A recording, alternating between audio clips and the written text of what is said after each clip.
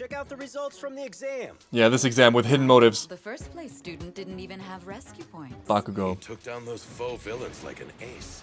Yeah, I mean, he's really powerful. The examinees were running from the big obstacle. He stayed focused on letting the smaller targets get in close and then counterattacking. The guy's got grit. I guess he's smart, too. Not the first UA hopeful to take out that giant robot.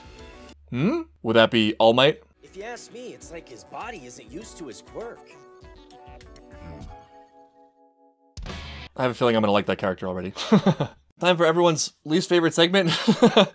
Introduction over analysis. I was thinking about the protagonist always having some hidden power, right? Deku is an exception in a way because he's not born with it, right? But still it's, you know, it's the protagonist with ultimate power. And I used to hate that until I realized two things. One, just story wise, I was thinking about it backwards. It's not that we're choosing a specific character and then that character happens to miraculously have this ability or be super lucky in some way. It's the other way around where actually that doesn't happen in the world typically. Almost no one has that. But story wise, wouldn't we want to focus on the most interesting person in the world? And that would be that protagonist, right? It would be the one who, who does all the, the great things. And it makes sense looking at it that way because there are great people in the world who do great things. And so stories typically would focus on them. And secondly, and I think way more importantly, and also way more interestingly for me, none of what I said matters anyway because it's still relevant to everybody. If we're thinking about shows as a guide to life, all of us have hidden abilities particular to ourselves. But instead of superpowers, it's our innate abilities and the way we can apply them to the world. And instead of villains, it's just life, right? It's like obstacles whether it be external or internal. And actually, I think a lot of the superhero stories are explorations of values. This show is already, right? Just in a couple episodes. And so I think the question is what values can we incubate that allow that realization of potential so that we can do great and heroic things, if that makes sense. Like I said at the beginning of the last Airbender series, I think we make a mistake watching these shows and not understanding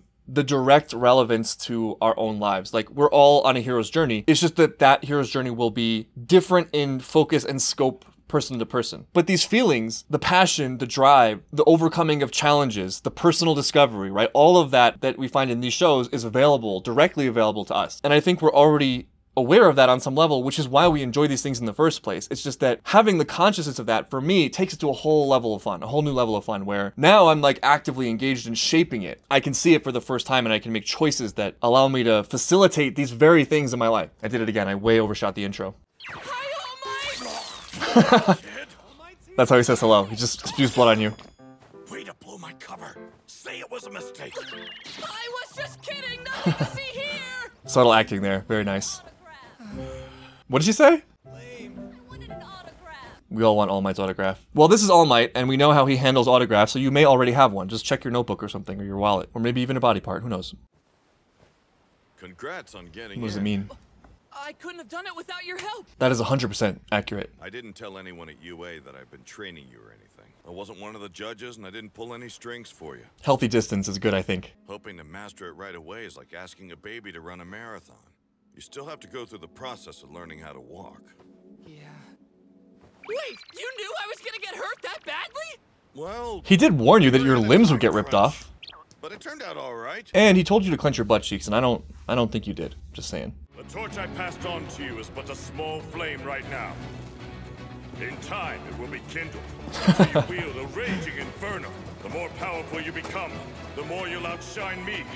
Eventually, I'll retire. My job complete. Man, I love how All Might speaks in these beautiful metaphors. It's so great.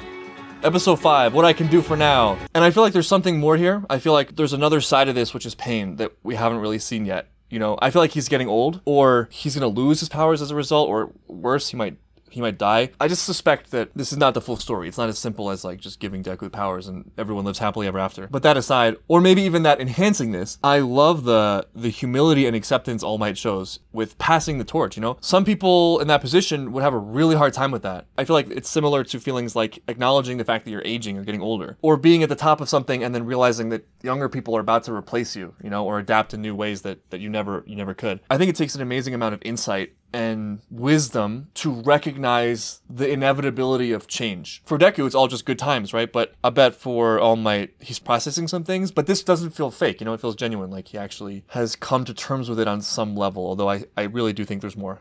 Deep stuff is right. Izuku, April. You're all set? Yeah, Are you sure? You didn't just pack action figures, right? I have everything. Now I gotta go. I'm really proud of you, son. Aw. I began my high school career. I remember my first day of high school. It was mostly uneventful, except that some seniors cornered me and they told me I would have to fight other freshmen at the park that Friday, and they gave us all Pokemon names. I never showed up, but in hindsight, I wish I had. That would have been interesting. The most promising students in the country are waiting behind this door.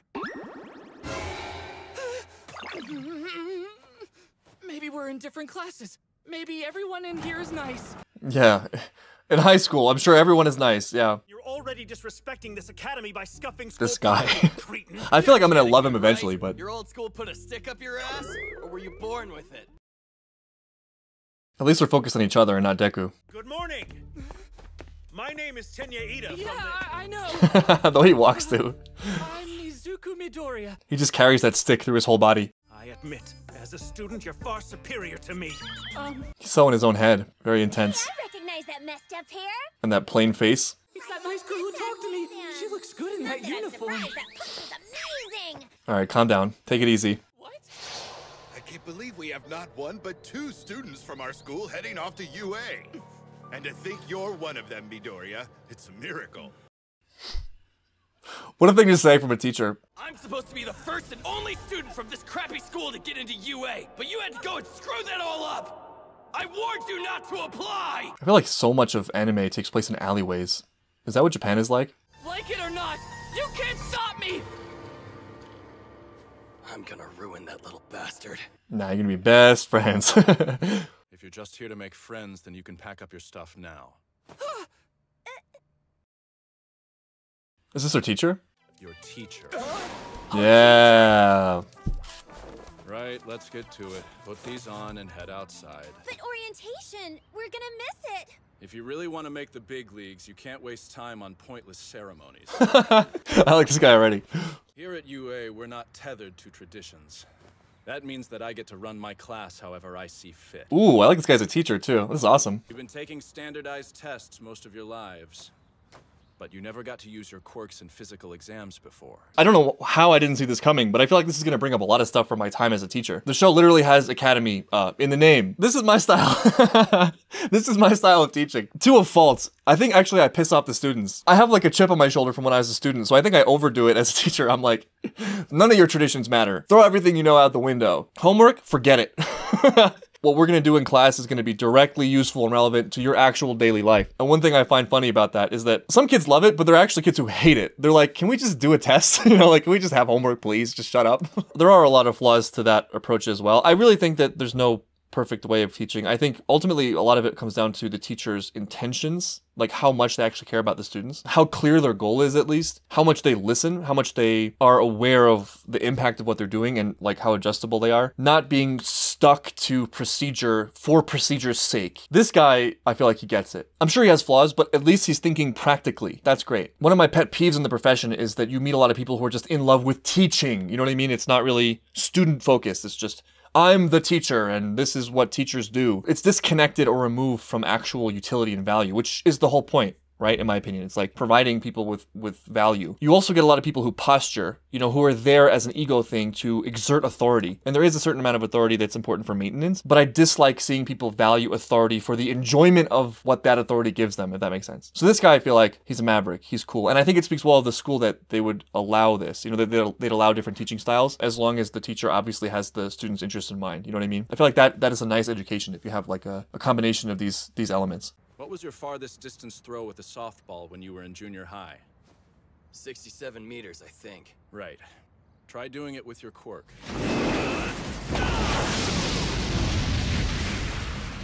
That was more than 67 meters. You have three years here to become a hero. You think it's all gonna be games and playtime? This guy's seen some stuff. Today you'll compete in eight physical tests to gauge your potential. Whoever comes in last has none and will be expelled immediately. What? What kind of school is this? Oh, crappy Garaizawa. oh no. I feel like this guy represents an exploration of one of the themes of the show, which is meritocracy. The cold, hard truth of not everyone being born equal and objectively measuring abilities. He's like to an extreme of that, right? It'll be interesting to see where he goes. Even if it wasn't the first day, that isn't fair. She's Oh, very principled and outspoken. are? Are power-hungry villains? hmm? The cruelty of life. UA will throw one terrible hardship after another at you. So go beyond. Plus Ultra style. plus ultra.